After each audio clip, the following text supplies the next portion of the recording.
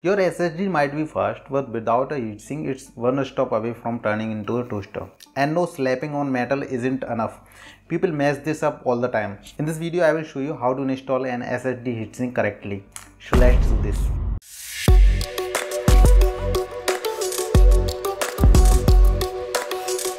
Okay, let's break it down. Your SSD gets hot, especially NVMe generation 4 when it gets too hot, it slows down. That's called thermal throttling. The SSD protects itself by going slower when you need speed the most. What you will need? Your SSD, obviously. A compatible heatsink, don't cheap out there. A screwdriver, usually a tiny Phillips. A brain, just kidding sort of. Step by step installation. Turn off your PC and unplug it. Remove your SSD if it's already installed peel off the plastic from the thermal pad. You would be surprised how many people skip this and wonder why their SSD is overheating.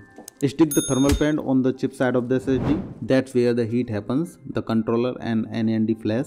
Don't slap pads all over the back unless the heatsink is built for that. Mount the heatsink carefully. Some clip, some screw on, some use rubber bands follow the design. Don't press it like you are closing a suitcase, gentle but firm. Put the SSD back into the M.2 slot and screw it down. Make sure it clicks into place before tightening.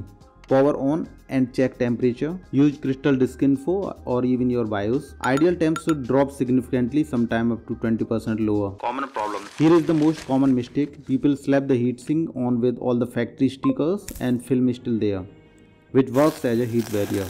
So yeah, it's a simple upgrade but if done wrong, it can ruin your SSD's performance. Peel the plastic, place the pad on the chip side and make sure your heatsink isn't just for look. Want to know how to install an RGB heatsink on an NVMe SSD? Watch this video and thanks for watching.